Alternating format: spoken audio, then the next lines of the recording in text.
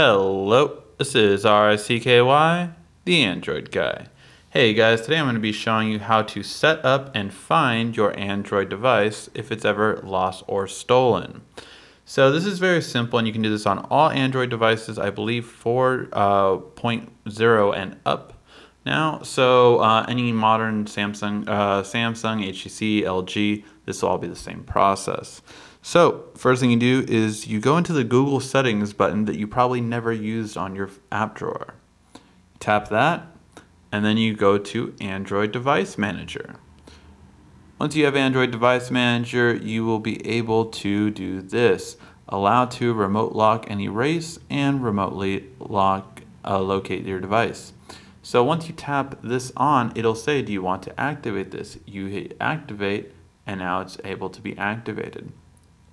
Now, it does come with a companion app called Device Manager, which lets you remote access your other Android devices when this happens. But the real nice part about this is, is when you're on your PC, you just simply go to right here, Google dash Android dash device manager, or you can do what I did, which is simply Google Android device manager. Once you're here, you will be able to locate your devices. Now this is pinpoint accurate, however, I will not zoom in as I do not want to give my current location, of course, but as you see right here on the bottom, you can actually be able to ring your device, so as in order to notify it, or set up lock and erase, which will wipe out your device so none of your information can be stolen.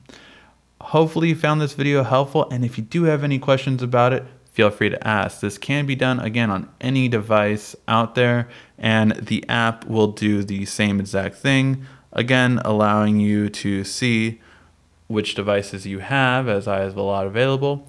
And then, of course, let's zoom out a little bit. And then, of course, uh, being able to wipe it out. So, very nice and uh, detailed in how it works. And if you have any questions, feel free to ask. This has been R I C K Y the Android guy.